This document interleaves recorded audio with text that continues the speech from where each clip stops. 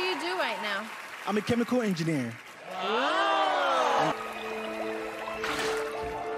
Whoa! Oh, whoa!